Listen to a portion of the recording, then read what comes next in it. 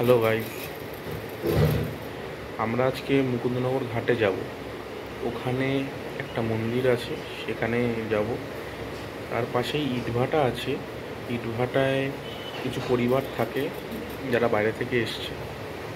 তাদেরকে আমরা কিছু সাহায্য করব, কিছু ড্রাই ফ্রুট দেব এবং সেখান থেকে গিয়ে আমরা শিবপুর ইটভাটায় যাব।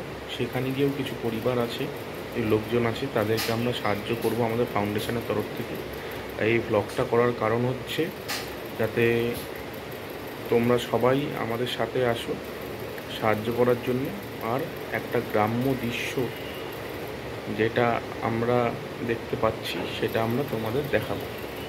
ধন্যবাদ।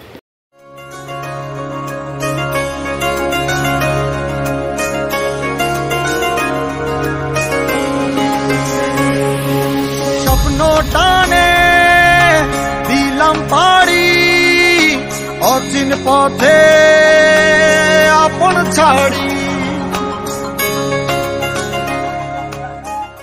এটা আমার ফার্স্ট ব্লগ এর আগে কোনো ব্লগ করিনি। কিন্তু একটা জিনিস বলতে পারি, এই ব্লগে একটা মাটির ছোঁয়া আছে। কারণ একদম মাটির মানুষদের সাথে আমরা এই ব্লগটা করছি। তাদেরকে একটু কিছু সাহায্য করার চেষ্টা করেছি। এইটা না যে আমরা আমাদের জাহির করছি, কিন্তু আমাদের একটা ছোট গ্রুপ আছে যেখানে আমরা সাত আটজন আছি। তারা সবাই মিলেই কিছু কিছু অনুদান করে আমাদের সাহায্য করে আজকের দিনটা সফল করার জন্য এগিয়ে এসছি। এবার আমরা এইটা এই ব্লগটা করছি। তার কারণ হচ্ছে তোমরা সবাই আমাদের সাথে এগিয়ে আসো। প্লাস আর একটা কারণে যেটা করছি আমরা ব্লগ সেটা হচ্ছে একটা গ্রামের চ বা গ্রাম্য পরিবেশটা দেখানোর জন্য, যেটা সবাই ভুলে গেছে। অনেকে গ্রাম থেকে চলে গেছে শহরে মাইগ্রেশন হয়ে অনেকে আবার গ্রামে রয়ে গেছে, কিন্তু শহরে বেশিরভাগ সময়টা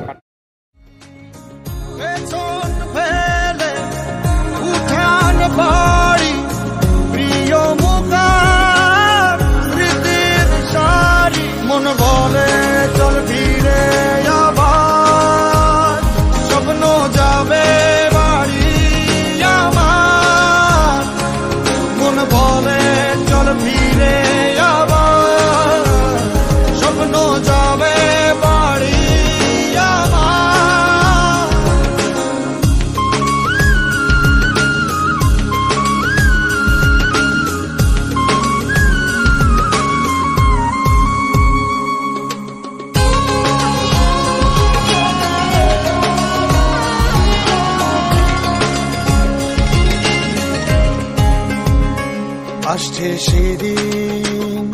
বছর ঘুরে দিচ্ছে আপন সুরে।